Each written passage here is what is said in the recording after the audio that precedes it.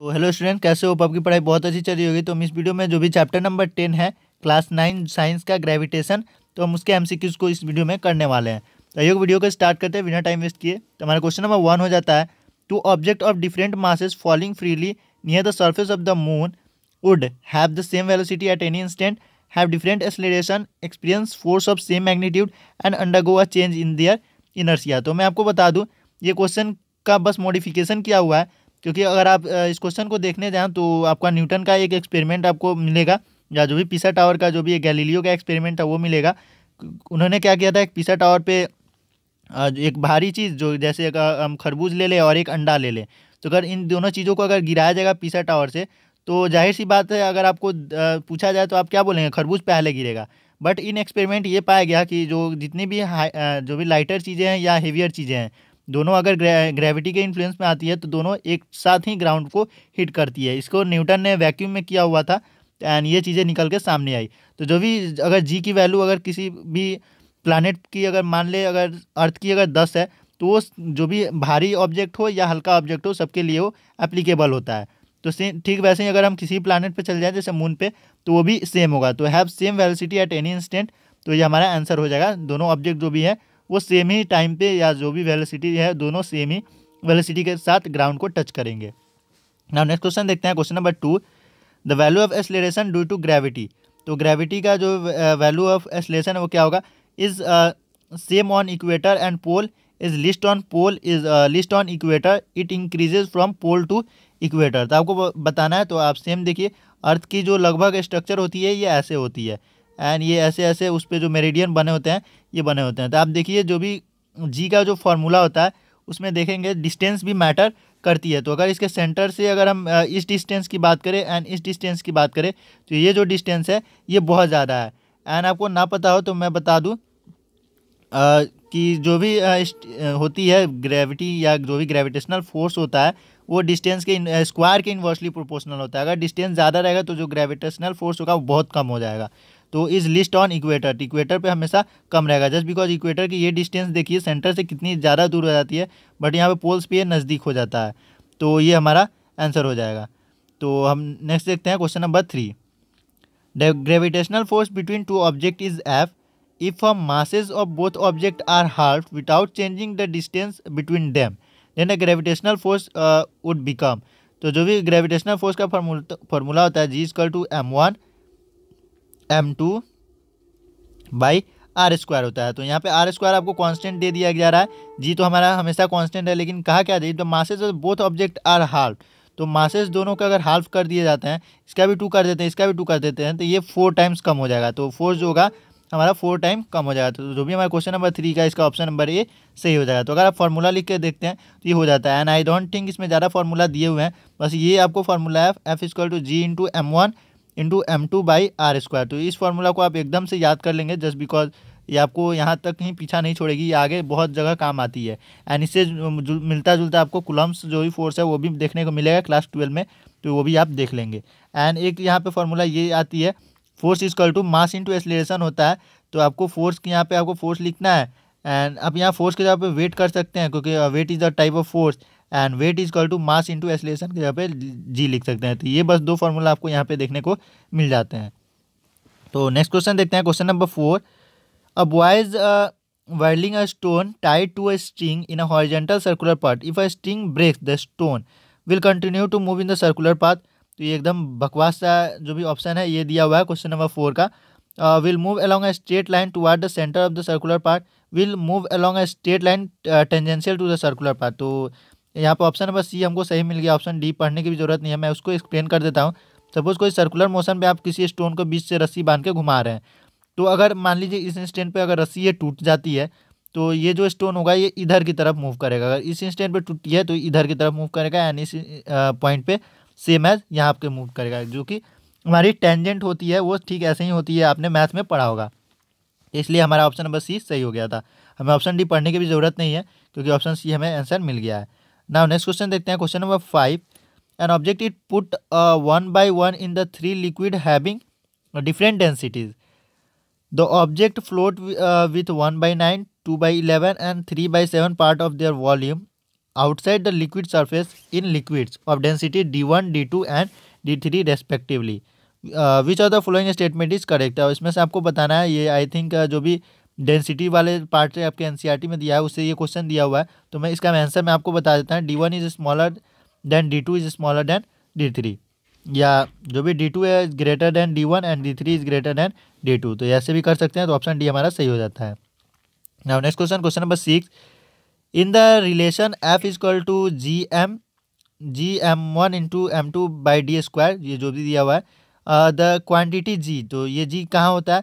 ये जी आपको बता दूँ ये कांस्टेंट होता है जिसका आई थिंक uh, होता है six point six seven into ten to the power minus eleven into ten to the power minus eleven तो ये होता है अगर ये अगर गलत है तो अगर आप मुझे पता है तो आप कमेंट में ज़रूर बताएँ कि कितना होता है। एंड अगर मैं सही हूँ तो मुझे एक बार कंफर्म ज़रूर कर देना बिकॉज़ ये पढ़े बहुत टाइम हो गया है मुझे तो मैं इसे कंफर्म नहीं हूँ तो आप कमेंट में कंफर्म ज़रूर कर देना।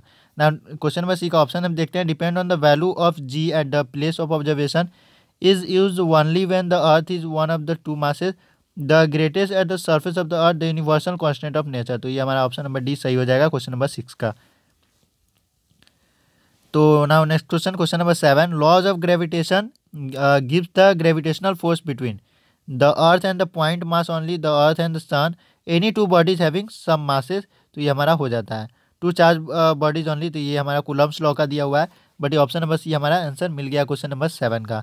ना next question question number eight the value of G in the law of gravitation depend on the mass of the earth only ये हमारा फिर से वहीं दे दिया। Depend on the radius of the earth only depend on the both mass and the radius of the earth is independent of mass and the radius of earth क्योंकि ये universal constant होता है तो ऑप्शन नंबर डी हमारा सही हो जाता है क्वेश्चन नंबर एट का। नाउ नेक्स्ट क्वेश्चन देखते हैं question number nine two particle are placed at some distance if the mass of each of the two particles is double तो मास को अगर हम डबल करेंगे तो जो भी फोर्स होता है, देखिए, आप सबसे पहले फॉर्मूला को लिख दें F square to G into M one into M two by R square ठीक है, अब हम देखते हैं अब क्वेश्चन क्या कर रहा है। अब मास को डबल कर रहे हैं keeping the distance between them unchange the force of the gravitation between them will तो मास को अगर एक को डबल करते हैं तो दूसरे को भी डबल करते हैं तो फोर्स जो भी होगा two into two four times हो जाएगा, क्योंकि फोर्स जो है डायरेक्टली प्रोपोर्शनल है M one and M two के। तो अगर आप को ये चीज़ें समझ में आती है तो ये ज़रूर देख लेंगे। तो यहाँ पे हमारा फोर टाइम्स इंक्रीज हो जाएगा। तो जो भी क्वेश्चन नंबर जो भी है हमारा नाइन इसका आंसर हो जाएगा ऑप्शन नंबर बी ना नेक्स्ट क्वेश्चन देखते हैं question number ten the atmosphere is held to the earth by gravity wind cloud earth magnetic field तो क्वेश्चन नंबर टेन का यहाँ पे साफ़ साफ़ दिख रहा है ग्रेविटी ग्रेविटी ही हमारे एटमॉस्फेयर को होल्ड करके रखी अगर ग्रेविटी नहीं होती तो हमारा जो एयर जो एटमॉस्फेयर है एयर सिस्टम हमारा ये चला गया होता अर्थ के पास से। Next question question number eleven the force of attraction between two point unit point masses separated by unit distance is called gravitational potential acceleration due to gravity gravitational field inverse gravitational constant F is equal to G into M one into M two by R square तो क्या बोल रहा है? The force attraction between two point masses separated by a unit distance तो unit distance का मतलब R की value हमें वन लेनी है। तो जो भी क्वेश्चन नंबर इलेवन है, इसका हो जाता है इन्वर्सनल ग्रेविटेशनल कॉन्स्टेंट एम की जगह पे वन लेंगे एम टू की जगह पे अगर वन लेते हैं तो फोर्स किसके इक्वल होता है? जी के इक्वल हो जाता है। तो आपके ग्रेविटेशनल कॉन्स्टेंट का ये एक डिफिनीसन हो जाता है। तो आप इसे याद कर सकते हैं। सब्जेक्टिव जो क्वेश्चन होते हैं, उसमें पूछे जा सकते हैं। नाउ नेक्स्ट क्वेश्चन देखते हैं question number twelve the weight of an object of centre of the मा earth of radius R is तो आपको ये N C R T exemplar का क्वेश्चन है तो क्वेश्चन नंबर जो भी ट्वेल्व है, इसका हो जाता है zero the weight of the object है the centre of the earth जो भी अर्थ है, कोई भी यहाँ से अगर कोई भी फोर्स होता है, वो उसके सेंटर से नापी जाती है। अगर वहीं पर अगर कोई ऑब्जेक्ट ले जाकर हम चेक करें तो वो ज़ीरो हो जाएगा। नेक्स्ट क्वेश्चन देखते हैं। क्वेश्चन नंबर थर्टीन तो क्वेश्चन थर्टीन हमारा हो जाता है। An object weight ten newton in air when immerse fully in water it weight only eight newton the weight of the liquid displace by the object will be तो जो भी wait of the liquid होगा, जो object के द्वारा displace होगा, वो कितना होगा? तो आपको बताना है क्वेश्चन नंबर थर्टीन का, ये हो जाता है two newton just because change in mass जितना आया है, उतना ही हमारा वेट हो जाएगा वाटर का। Next question question number fourteen अब यहाँ पे देख लेंगे वेट को हम नॉर्मल लाइफ में तो के में यूज़ करते हैं बट यहाँ पे आपको इस चैप्टर में वेट को का जो ऐसा यूनिट है वो न्यूटन होता है बट जो के होता है वो मास का ऐसा यूनिट होता है। तो इसको आप देख लेंगे डेली लाइफ से साइंस हमारी अलग होती है। Next question question number fourteen a girl stand on a box having sixty centimetre length forty centimetre breadth and twenty centimetre width in three ways in which of the following cases pressure exerted by the box will be maximum when length and breadth from the base and width uh, from the base, maximum when uh, width and length of the base, and option D the uh, the same in all the above three तो question number जो fourteen है इसका हमारा answer हो जाता है option number B maximum when length and breadth from the base तो हमारा ये ऑप्शन सही हो जाता है। देन नेक्स्ट क्वेश्चन देखते हैं। क्वेश्चन नंबर फोर्टीन का ऑप्शन हमारा बी हुआ था ना maximum when breadth and width from the base तो नेक्स्ट क्वेश्चन देखते हैं question number fifteen an apple falls from the tree because of gravitational attraction between the earth and the apple if the F one is the magnitude of the force exerted by the earth and the apple and the F two is the magnitude of the force exerted by the apple on the earth then F one is much very much greater than F two तो आपको बताना है F one बड़ा होगा या F two हमारा बड़ा होगा। तो इसका हम साफ़ साफ़ आंसर बता सकते हैं। क्वेश्चन नंबर फिफ्टीन है, उसका होगा F one F two are equal क्योंकि जो हमारा न्यूटन थर्ड लॉ होता है, वो क्या होता है? एवरी जो भी एक्शन होता है इक्वल एंड अपोजिट रिएक्शन होता है। कोई भी एक्शन अगर होता है तो इक्वल एंड अपोजिट होता है। इसका मतलब जितना फोर्स जो भी अर्थ पे लगाया गया है, उतना ही फोर्स है जो एप्पल ने अर्थ पे भी लगाया होगा। तो दोनों एक दूसरे पे इक्वल फोर्स लगाते हैं तो ये हमारा हो जाएगा। ये बहुत ही कन्फ्यूजिंग क्वेश्चन था हमारा। क्वेश्चन नंबर जो भी फिफ्टीन था बिकॉज़ बहुत बच्चे को लगता है जो अर्थ है वो ज़्यादा फोर्स लगाती है, इसलिए एप्पल खींचा चलाता है बट वो मास में डिफरेंस होता है बट फोर्स दोनों एक दूसरे पर सेम ही लगाती है। ना नेक्स्ट क्वेश्चन देखते हैं। क्वेश्चन नंबर सिक्सटीन हमारा हो गया। The acceleration due to gravity on the earth depend upon the mass of the body mass of the earth shape of size of the body volume of the body जो acceleration due to gravity होता है, वो क्या होता है? मास of the earth पे depend करता है। तो जो भी हमारा क्वेश्चन नंबर सिक्सटीन हो गया ऑप्शन नंबर बी हमारा सही हो गया। नेक्स्ट क्वेश्चन देखते हैं। Question number seventeen when a mango falls from the mango tree then only the earth attract the mango only the mango attract the earth both the mango and earth attract each other both the mango and earth repel each other तो option number C हमारा सही यहाँ पे दिख रहा है।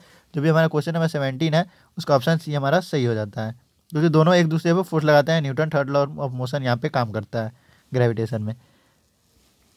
यहाँ पर नेक्स्ट क्वेश्चन हो गया question number eighteen when a sea float in sea water the weight of the water displace is greater than the weight of the ship the weight of the water displace less than the weight of the ship the weight of the water displace is equal to the weight of the ship it displace no water तो question number जो भी हमारा eighteen है, उसका answer हो जाता है the weight of the water displace is equal to the weight of the ship बस कोई टब रखते हैं, अगर इसके अंदर कोई ऑब्जेक्ट रखते हैं तो ये उतना ही वाटर डिस्प्लेस करेगा जितना अगर वेट आप इसमें अंडर डालते हैं।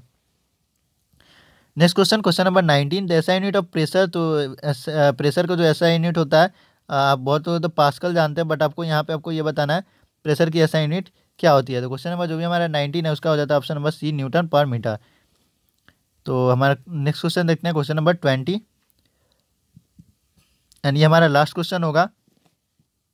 If the gravitational attraction of the earth suddenly disappear which of the following statement will be true weight of the body will become zero but the mass will remain same the weight of the body will uh, remain same but the mass will become zero both mass and the weight become zero neither mass or nor weight become zero ये जो हमारा question number twenty है इसका option A हमें सही लग रहा है the weight of the body will become zero but the mass will same तो जो भी मास होता है वो इंडिपेंडेंट ऑफ़ ग्रेविटी होता है ग्रेविटी कितना भी हो मास पे फ़र्क नहीं पड़ता बट जो वेट होता है वेट का जो फॉर्मूला होता है वो फो, फोर्स जो भी हमारा weight force equal to mass into acceleration हमारा था तो जो भी वेट का फॉर्मूला होगा हो जाएगा मास इंटू ग्रेविटी तो जो वेट होता है, वो ग्रेविटी पे डिपेंड करता है बट जो, ये जो मास होता है, ये कांस्टेंट होता है. किसी भी प्लानट पे आप चले जाइए मास आपका सेम ही होगा. तो ये चेंज नहीं होता है. तो होप आपको सारे क्वेश्चन समझ में आए होंगे. एंड अगर आपने पुराने वीडियोस नहीं देखे तो हमारे चैनल पे जाके, जो नीचे डिस्क्रिप्शन में लिंक दी हुई है, वहाँ से जाके आप सारे वीडियोस चैप्टर के देख सकते हैं. वहाँ पे सारे एक्सप्लेनेशन आपको चैप्टर के दिए हुए हैं.